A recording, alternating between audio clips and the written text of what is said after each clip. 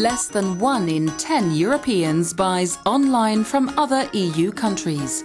The process is simply too complicated.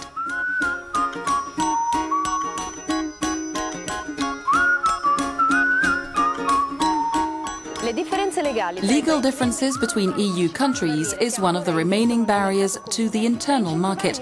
To boost cross-border trade, cut costs and give customers greater choice, the EU has drafted a common European sales law.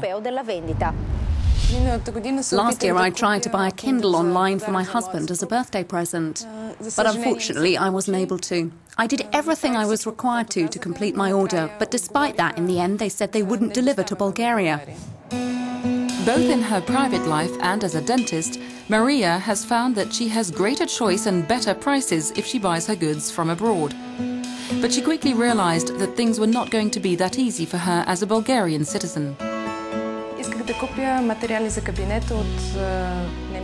I wanted to purchase supplies for my dental surgery from a German company via the internet.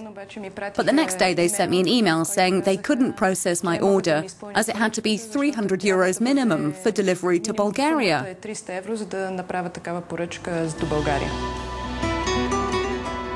Maria didn't want to place such a big order unless she could be sure about delivery times, packaging and sales documents, which might not be compatible with the Bulgarian tax system. In the end, she did find a way to buy what she needed, but it wasn't easy. I ordered goods from Germany to be sent to a friend who lives there. She then sends the parcels to me, or I collect them when I visit her. So that's the roundabout way I found to get hold of my goods. Bulgaria is one of the countries in Europe where it's most complicated to purchase cross-border goods online. People living in Belgium, Latvia, Malta and Romania face similar problems. For them, around 70% of cross-border transactions end in failure. The European average is hardly better. Only 4 in 10 cross-border deals work out. In many cases, we're not given any explanation. Sometimes the sellers simply state in their terms and conditions that they don't deliver to Bulgaria. Sometimes they say there's a problem with the credit card.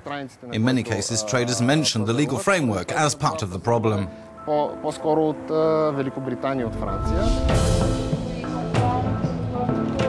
A seller can turn down an online transaction with someone in another country if he doesn't feel comfortable with the laws and regulations that would apply to the deal.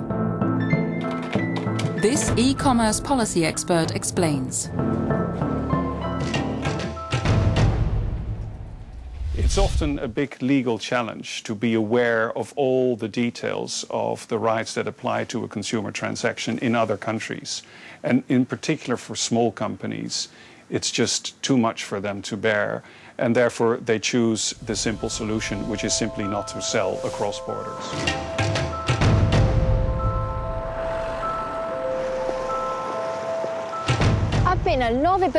Only 9% of consumers in Europe buy online from other countries.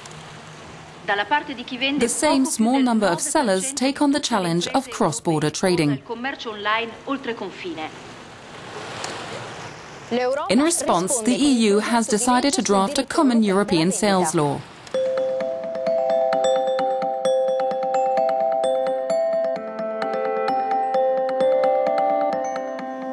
Family-run business Bivolino is among the first in Belgium to expand online to new markets. Today the company sells its products in 19 EU countries, but at what price?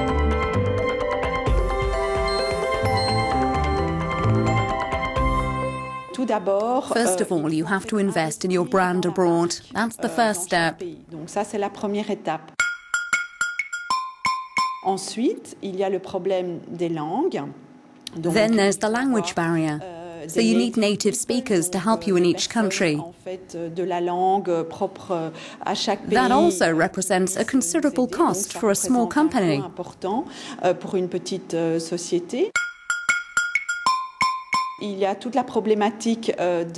There's the whole question of online payment, which varies from country to country. Other major obstacles include differences in VAT and consumers' rights. So, for example, in some countries, the maximum delay for returning goods is two weeks. In others, it's only one week. So, there again, we need to have a different approach according to the country.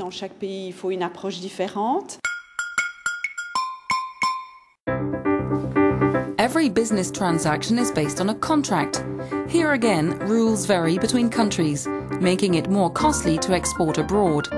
It's estimated that each additional export market costs a business an average of 10,000 euros.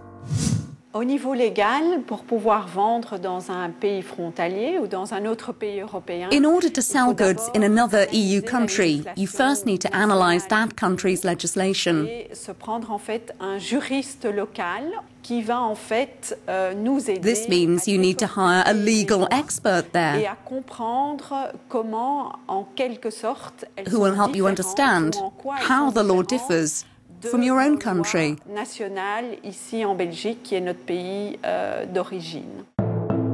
So, the European Commission has decided to draft a common European sales law, CESL, so that sellers don't have to cope with up to 26 different versions.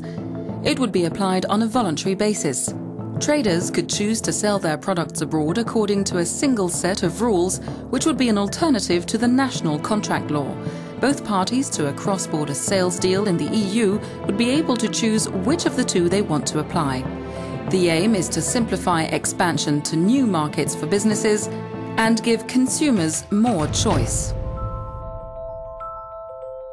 European cross-border trade, um, obviously in the area of, uh, of e-commerce and, and online commerce, could be a lot better. I think we're nowhere near where we should be, and the European Commission has realized that as well. The European Common Sales Law can have an impact uh, on the problems we now face with a lack of cross-border trade. I think one of the key problems is consumer trust. And anything that can help in strengthening that trust will, of course, help cross-border trade. Another obstacle yet to be addressed is the whole question of transport, delivery, and postal services. The ultimate aim being a harmonization of rules in what many see as a future United States of Europe.